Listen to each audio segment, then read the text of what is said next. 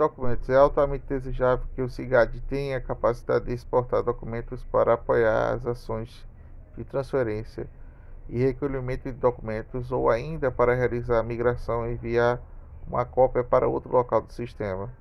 Em alguns casos, os documentos estão, serão eliminados do CIGAD após a exportação, em outros mantidos, em outros casos, absolutamente necessário que as ações sejam executadas de maneira controlada e fazendo registro nos metadados e na trilha da auditoria verificando se os documentos relacionados. O sistema de CIGAD tem que ser capaz de exportar documentos de dossiês, processos digitais e seus metadados para outro sistema dentro ou fora do órgão da entidade.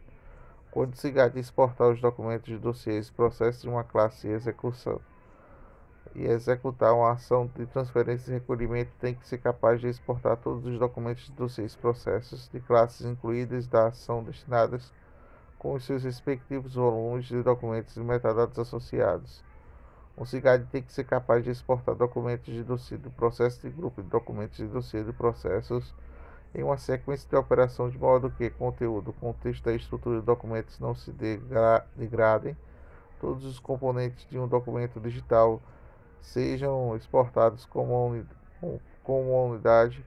Um exemplo de mensagem de correio eletrônico e seus respectivos anexos todos os metadados do documento sejam relacionados a ele de forma de ligação que possa ser mantidos de um novo sistema.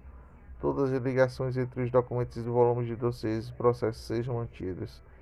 É altamente desejável que o CIGAD seja capaz de exportar dossiês e processos em seu formato nativo, um formato no qual foi migrado, de acordo com os formatos definidos para padrões de interoperabilidade, de acordo com o formato devido pela sua instituição arquivística que irá receber a documentação no caso de transferência de recolhimento.